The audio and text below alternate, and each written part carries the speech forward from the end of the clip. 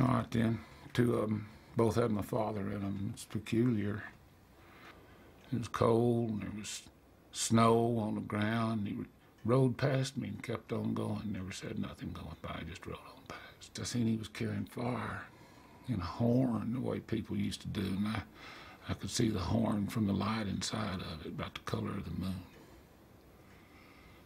And in the dream, I knew that he was going on ahead. He's fixing to make a fire somewhere out there in all that dark and all that cold. And I knew that whenever I got there, he'd be there.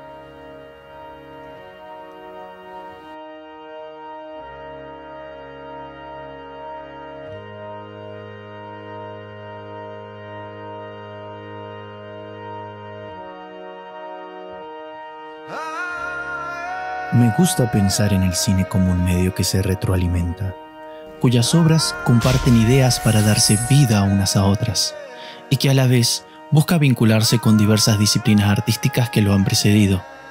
Dogville es un claro ejemplo de aquellos lazos que unen al cine y al teatro, pero si hay un videojuego que represente perfectamente una relación lúdica cinematográfica, ese es The Last of Us. Su historia toma el mismo punto de partida que la aclamada novela La carretera. Cuenta la relación paterna-filial entre Ellie y Joel, una joven y un adulto, ambos buscando sobrevivir en medio de un mundo posapocalíptico.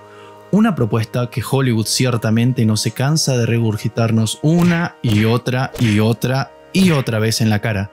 Pero lo que llamó mi atención fue la entrevista en la que sus creadores Neil Druckmann y Bruce Straley nombraron no a esta, sino a esta como su mayor inspiración. So one of the other things that happened while collecting these ideas and, and sort of defining a Naughty Dog product is we saw No Country for Old Men. Introducción de No Country for Old Men para aquellos que no la vieron. Película ganadora del Oscar, motivo de incontables análisis en YouTube, referenciada tanto en Gumball como en Los Simpson. Conocida como Sin lugar para los débiles en Latinoamérica, su historia sigue a Llewellyn Moss, un veterano de Vietnam que encuentra un maletín en medio del desierto y al hombre que busca darle caza, Anton Chigurh. Al principio pareciera que el relato va sobre la lucha entre bien y el mal, o el juego del gato y el ratón, pero más adelante se nos introduce a un tercer personaje, el sheriff Tom Bell, un hombre viejo y apacible quien termina por ser el protagonista espiritual de la obra. No negaré que ambos relatos posean elementos ciertamente estereotípicos de sus respectivos géneros. Antihéroes con su propio código de moral, la presencia del sheriff como símbolo de la justicia y el personaje que resulta ser la cura para la humanidad. Pero dicha familiaridad no dura mucho. Esta comienza a resquebrajarse gracias a los giros que toman ambos guiones. Moss es asesinado por personajes secundarios sin relevancia en la trama. Sigurd se hace con el maletín y Bell finaliza con una nula participación en el conflicto principal. En The Last of Us, Joel salva la vida de Ellie, pero termina condenando a la humanidad en el proceso. Todo esto sumado al uso de la música o a la falta de ella en el caso de Sin lugar para los débiles. Cuando hay muchas veces una escena en una película este, que no está ocurriendo, que no está pasando, no está pasando lo que tiene que pasar, lo inmediatamente que te lo imaginas al director y al editor en, en el coso, pongamos música. Why wasn't music used in, in No Country? It's a great Yeah. choice. Without the music and more personal, you're you're Yeah. not Yeah. you're not Yeah. being you're not being told how to feel. Right. Si, si realmente tenés una buena historia, bien dirigida, con buenos actores, todo, ¿para qué vas a pisar eso con la música? Esperás a que termine la escena y por ahí, ahí entras con la música y esa música entonces soporta ahora emocionalmente lo que, lo que acabas de ver. It's not a sad, you know, score. It's not a ominous score. It just is. Todas estas subversiones apuntan a un mismo fin, eliminar cualquier atisbo de glamour que posea el relato. Dicho objetivo lo bordan también las deconstrucciones de Tommy Joel, el primero siendo un sheriff incapaz de hacer frente a la maldad que acoge al mundo, y el segundo poseedor de las características típicas de un antihéroe frío y distante, de aquellos que suelen comportarse de manera altruista al final de la obra, termina desafiando su status quo para concluir como el personaje más despreciable del relato. Aunque A decir verdad, no es Bell el personaje con el cual comparte más similitudes. Oh no. En primer lugar, tanto Joel como Chigur son hombres despiadados, de increíbles capacidades que son puestos en jaque a la mitad del segundo acto, y concluyen cerrando sus arcos, convirtiéndose en aquello opuesto a lo que eran en un principio. Shigur en un hombre débil, casi minusválido, y Joel en un bárbaro semejante a aquellos que terminaron con la vida de su hija. Por favor, no. Por favor. He aquí que me paro a hacer un énfasis en este término. Si bien muchos saben, los romanos lo usaban para referirse a quienes habitaban fuera de las fronteras del imperio. Tanto en el género western como en el posapocalíptico, el concepto de esta frontera también cumple una función trascendente. En el primero, esta suele ser el lugar hacia donde los bandidos escapan de la justicia, la tierra de nadie, mientras que en el segundo es aquel que separa la zona de cuarentena del mundo inhóspito y salvaje. En el siglo XIX, el escritor militar y político Domingo Faustino Sarmiento realizaría su propio ensayo sobre dicha acepción en su controversial pero influyente obra Facundo, Civilización y Barbarie. Si no es la proximidad del salvaje lo que inquieta al hombre del campo, es el temor de un tigre que lo acecha, de una víbora que puede pisar. Esta inseguridad de la vida que es habitual y permanente en las campañas imprime en el carácter argentino cierta resignación estoica para la muerte violenta, que hace de ella uno de los percances inseparables de la vida, una manera de morir como cualquier otra, y puede quizás explicar en parte la indiferencia con que dan y reciben la muerte. La naturaleza salvaje dictará la ley por mucho tiempo, y la acción de la civilización permanecerá débil e ineficaz. Si bien en The Last of Us los escenarios no son exactamente páramos inhóspitos, estos muestran un choque entre el urbano y lo salvaje, dejando una constante sensación de lo que alguna vez fue y lo que jamás volverá a ser. Es por ello que su música se mueve entre lo nostálgico y lo tribal. El tema principal, por ejemplo, maneja un ritmo de 6x8, uno de gran uso en los géneros del folclore latinoamericano, muchos de los cuales surgieron, ya se imaginarán dónde. Pero no nos dejemos engañar.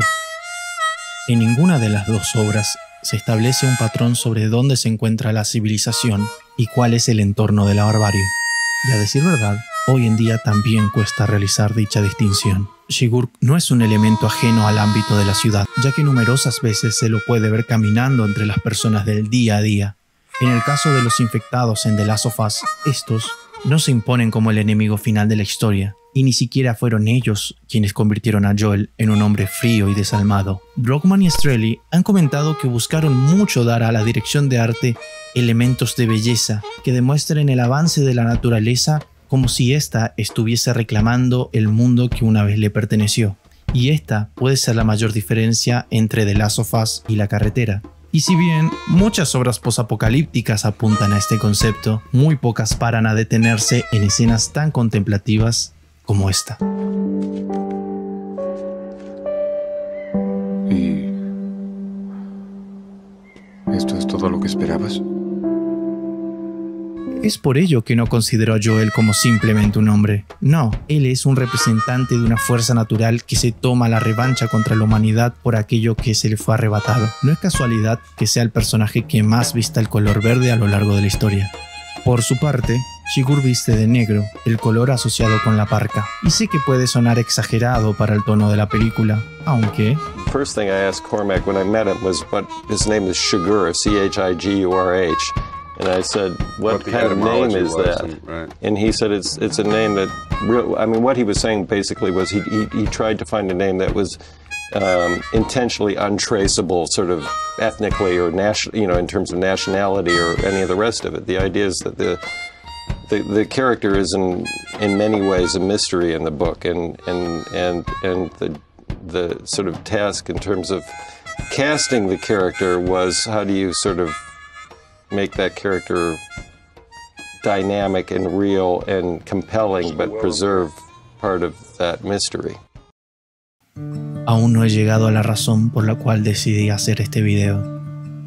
La mayor similitud entre ambas obras, sus dos magníficas escenas finales.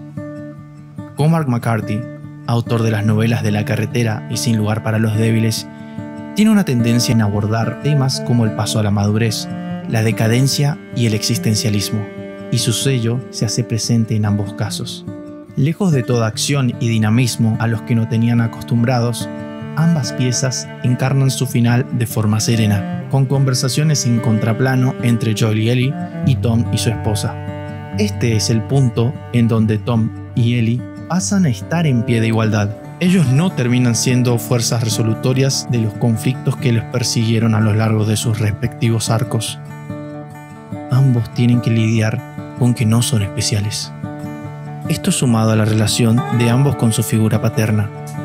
Tom Bell habla de la relación de su padre al inicio y al final de la historia, pero al final podemos intuir que él extraña esa figura, ya que éste le recuerda a un viejo mundo, el cual ve de una forma idealista, aunque jamás fue de esa manera.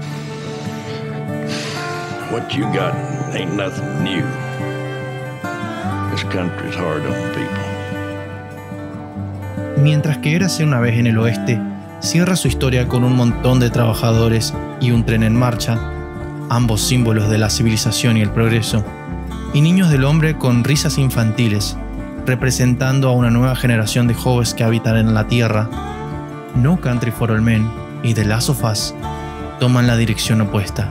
No hay visiones esperanzadoras hacia el futuro, solo vivencias nostálgicas del pasado. ¿Esto es por lo único que se preocupaban?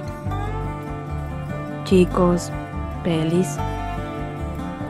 Decidir qué camisa iba con qué pollera. Sus protagonistas han pasado a convertirse en los marginados de este nuevo mundo que les toca vivir. Y así como podemos decir que los infectados no son el principal antagonista de Joel, tampoco lo es Sigur para Bell, ya que su fuerza opositora es el tiempo, el mismo que hace presencia al inicio de The Last of Us, adelantándonos de que el fin está cada vez más cerca. Ambas piezas son reminiscentes del ciclo de la vida, al cual se adaptan tanto adolescentes como adultos. Y como a veces tener a alguien al lado nuestro puede, aunque sea, darle un mínimo sentido a un mundo que carece de ello.